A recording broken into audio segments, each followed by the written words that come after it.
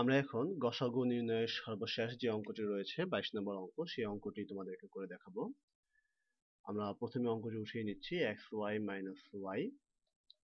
x cube y minus x y x square minus two x plus one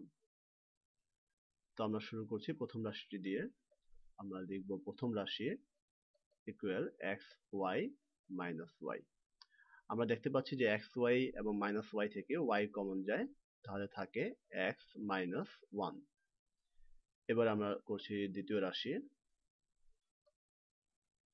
দ্বিতীয় রাশি হিসেবে রয়েছে x cube y minus x y দুটো রাশিতেই x y রয়েছে, সেজন্য আমরা এক্স ওয়াই কমন নিচ্ছি।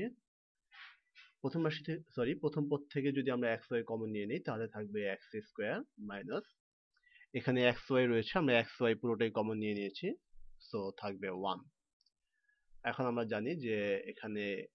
a square minus b square সূত্র অ্যাপ্লাই করা যায়। তো a square minus b square সূত্র হচ্ছে a plus b into a minus b এখানে যেহেতু এ হিসেবে এক্স এবং ওয়ান হিসেবে বি হিসেবে ওয়ান রয়েছে সো এখানে হবে এক্স প্লাস ওয়ান এবং এক্স মাইনাস ওয়ান এবারে করছি তৃতীয় রাশি।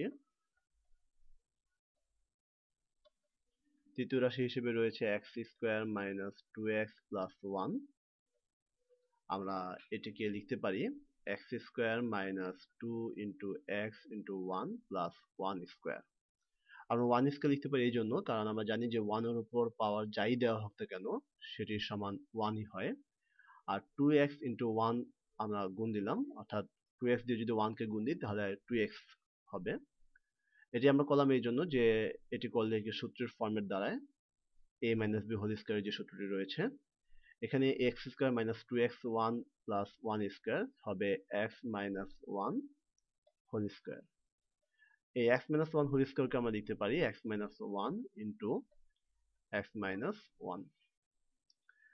এবারে গসাগু নির্ণয়ের পালা, আমরা লিখব নির্ণয় গসাগু